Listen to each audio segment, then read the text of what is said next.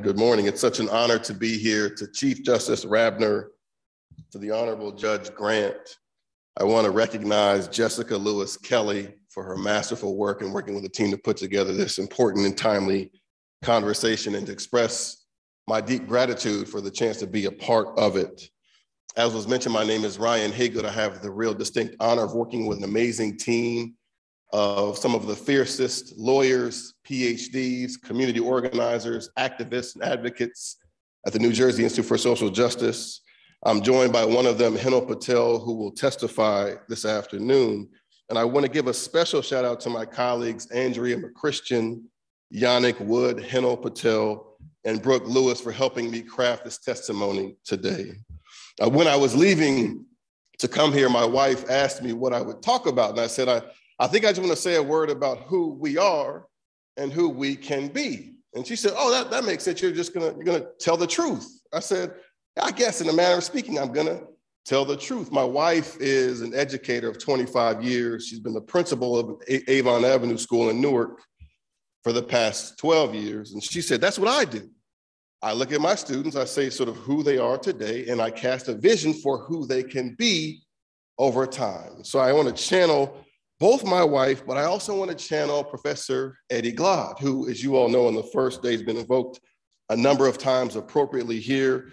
On the first day of our conference, he challenged us with his description of an America and a New Jersey that he said is deeply divided by racism. And he said, We have this difficult reality that we have to, quote, confront that we built this country and this New Jersey true.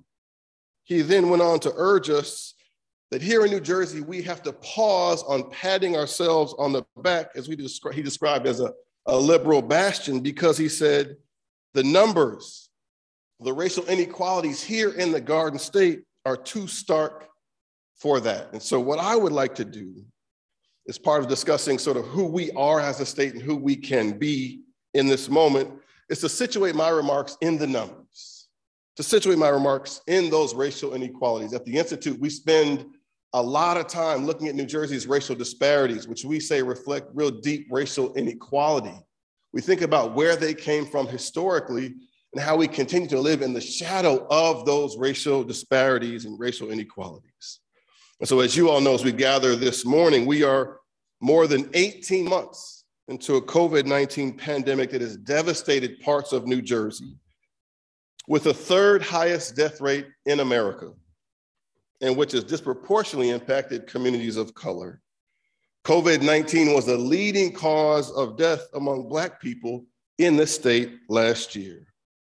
And it really is this public health crisis that we think has exposed the pre existing, the deep seated structural cracks of racism in our foundation that we all stand on. We did not create that foundation to be sure. We inherited it for but for us as lawyers as people of conscience i think this moment summons us to think about how we together fill in those cracks to build a new foundation. Because those cracks as we have seen have caused real earthquakes in black communities and other communities of color.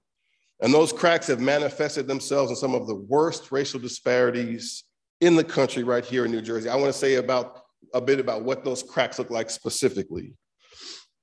It is in our state, one of the wealthiest states in the country, second this year only to Maryland, that the individual net wealth for white adults is $106,000. That's among the highest individual net wealth of anyone in the country, compared to just 179 United States dollars for Black people. $106,000 individual net wealth for white New Jerseyans versus 179 United States dollars, which is less, as you all know, than the cost of the iPhones that many of us are resisting looking at, Chief Judge, and less than the cost of groceries for a small family. And these cracks also cause Black infants in New Jersey to experience the highest racial disparity rate in mortality in America. They cause Black kids, like the ones my wife has been teaching for the last 25 years, to attend the sixth most segregated school system in the country. In 25 years of teaching, my wife, thousands of kids, three different schools in Newark, New Jersey, has never had a white student as an example of the way in which we live in real grinding racial residential and school segregation in the Garden State. These cracks, to be sure, they're part of our DNA dating back to when we were founded as a colony. It was in New Jersey during our founding as a colony that we provided 150 acres of land to each English white settling family. And we incentivized slavery in the state by giving those same families an additional 150 acres of land for each enslaved Black person that was brought to this colony. That is why New Jersey was referred to as the slave state of the North. We must confront this painful reality with sober minds because we live today in the shadow of that beginning and the generations of structural racism that followed, leading us all to stand on a foundation that is cracked by structural racism. So, how, Ryan, does all of this relate to why we're here today? Because New Jersey's criminal justice system was shaped by that structural racism as well. And we know that because Black kids in New Jersey are incarcerated at a rate 18 times that of white kids, though Black and white kids commit most offenses at about the same rate. And incarcerated kids too often end up as part of the adult system. We know that because Black adults are 12 times more likely to be in prison than white adults, also the highest racial disparity in the country. I am struck by the fact that in this particular moment, the 2020 census showed us that New Jersey has grown to more than 9 million people. In our state, the Garden State of more than 9 million people, in an admittedly small youth prison population, there are eight eight white kids in prison. And the rest are black and brown. I am not advocating for the deeper incarceration of white kids, but that stark number shows us that we have been able to muster the kind of compassion that should attach to some kids, but not to others. And then what do we do with the racism in our criminal justice system? Well, we import it into our democracy, into our courtrooms so that now incarcerated people cannot vote, though we were able to champion the right to vote for people on probation and parole. And we deny people with criminal convictions a chance to serve on juries for life. We must confront the fact that our system of jury selection through the use of peremptory challenges also perpetuates structural racism built into our criminal justice system. As you all know, it was 35 years ago when Justice Thurgood Marshall warned us about the use of peremptory challenges. And when he said, quote, peremptories will not end the racial discrimination that are injected, sorry, um, that we will, that the decision, the Batson decision will not end, quote, racial discrimination that peremptories inject into the jury selection process. Justice Marshall was right. Indeed, as we're having this conversation here in New Jersey, a trial, as you all know, is underway that has great import both to this conference and to our nation. And as you know, it began with an incident that occurred in a small southern town in Georgia, where Ahmaud Arbery was jogging down a residential street when he was followed by a group of white men in pickup trucks, one of whom was carrying a shotgun. They chased him. You all the facts. They confronted him. They believed that he did not belong there, and they shot him to death. And this tragedy didn't end with his death. It didn't end with the tragedy of his death for himself or his family, his community, because the town where he was killed was 55% Black. But during jury selection for a trial that's in progress as we speak, 11 of 12 Black potential jurors were struck from the panel through peremptory challenges that were made by defense attorneys leaving a sole Black juror.